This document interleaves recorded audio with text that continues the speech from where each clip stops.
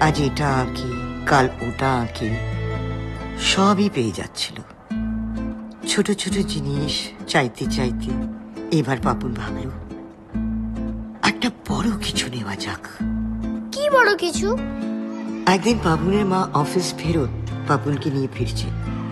তখন অন্য ছেলেদের সাইকেল দেখে পাপুনের সাইকেল আঁকার ইচ্ছে হলো। যেমনি ভাবা তেমনি করা। পাপুন এবার সাইকেল আঁকলো। সাইকেলটা একবার এসে গেলে ওকে আর পায় কে?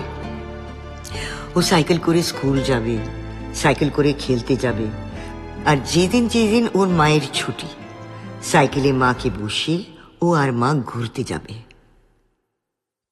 পাবনের আর ঘুম আসছে না। আসলে ওর আর তর সইছে না। ও ভাবছে কখন ভোর হবে। আর ওর আঁকার খাতা থেকে সাইকেলটা উঠে ওর সামনে চলে আসবে। সকালবেলায় পাপুন দৌড়ে ঘরে গেল, কিন্তু ও সাইকেল দেখতে পেল না। ও ঘরের এ কোনা ও কোনা বাড়ির সব জায়গায় খুঁজল, কিন্তু কোথাও পেল না। আর যে সাইকেলটা এঁকেছিল, সেটাও এবার ম্যানেজ হয়নি। সেটা খাতাতেই আছে।